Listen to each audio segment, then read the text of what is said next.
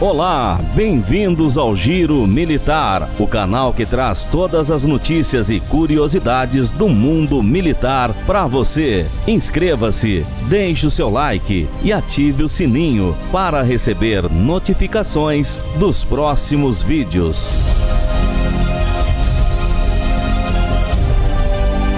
Exército Brasileiro realiza Operação Treme Cerrado 2020.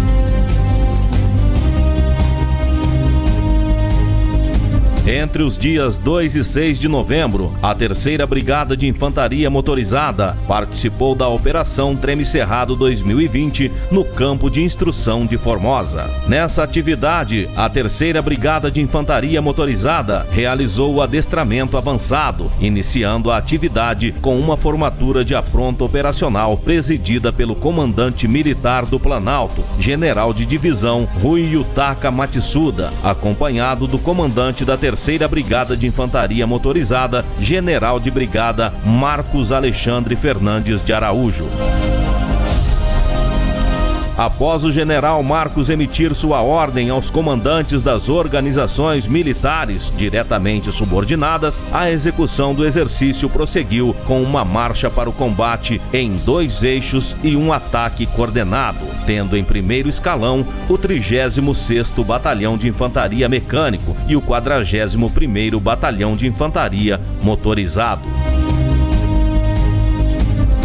O 16º Batalhão Logístico montou um posto de atendimento avançado, onde realizou atendimento médico e uma simulação de resgate após um acidente com a viatura. Na ocasião, foi realizado um teleatendimento operacional por videochamada, simulando um assessoramento remoto de um especialista ao clínico no PA.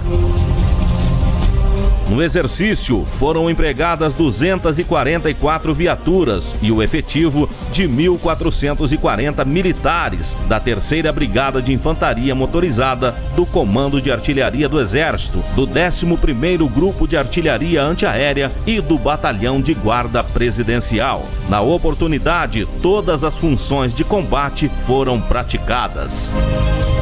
O coroamento da atividade foi marcado pelo tiro das armas coletivas, quando as frações realizaram seus adestramentos executando tiros de MAG 762, canhão 90mm do Cascavel e morteiros de 60 e 81 milímetros.